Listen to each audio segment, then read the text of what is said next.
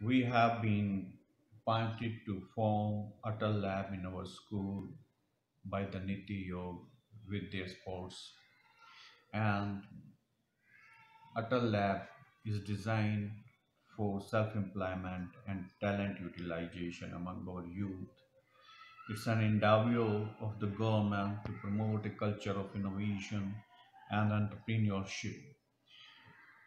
Its objective is to serve as a platform for promotion of world-class innovation hub, grand challenges, startup business, and other self-employment activities, particularly in technology-driven areas.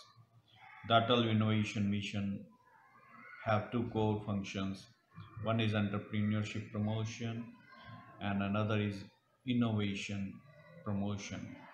And our school is designed to make this facility available to our student and as per the direction of Niti Aayog, if required for the outside student, will be providing the space for the proper utilization to make India self-reliant and successful. Thank you.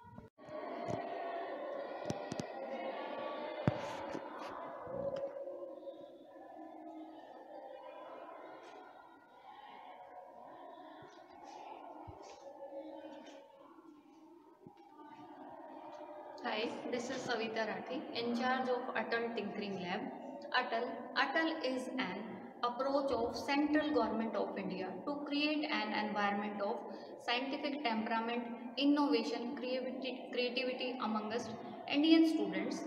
Atal Lab would teach students essential 21st century skills which help them in developing from professional and personal skills because students have the future nation builders.